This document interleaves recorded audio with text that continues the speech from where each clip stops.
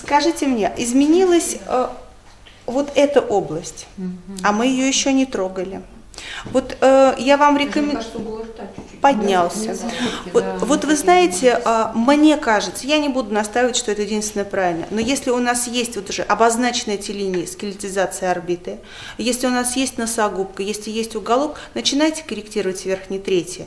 Потому что, возможно, э, к последнему пункту вы и не, вам надобности уже не будет приходить. Вы более равномерно распределите шприц, объем в шприце гиалуроновой кислоты, да, и дадите результат, который будет виден. И филлеры волюм абсолютно безопасно, можно вводить глубоко, средне, поверхностно, что они последовательно заполняют вот так все на. Вот здесь. Чуть-чуть мне нужно поднять, выше дать вот немножечко вот сюда площадку, чтобы на чем держаться будет.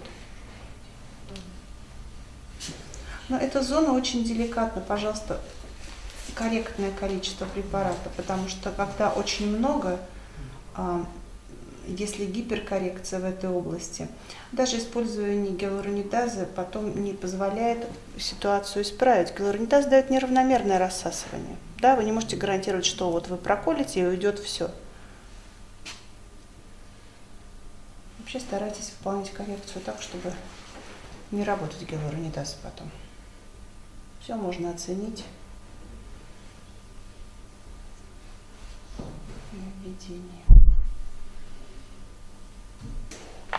Стандартный обычно где-то сантиметр-полтора от уголочка. И вот этот доступ позволяет и носогубочку покрыть, и вот сюда ввести препарат и распределить вот тут. Здесь я возьму вот сейчас чуть выше, вот по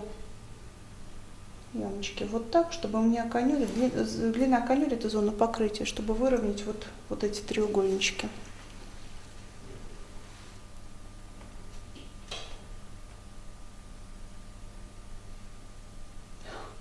А тут такой фиброз, что я не знаю, веду ли я конюлю или не веду.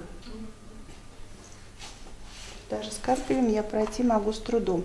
А еще я выбрала здесь кол, потому что это ну, верхняя граница предполагаемой предыдущей коррекции, чтобы не в нее вводить.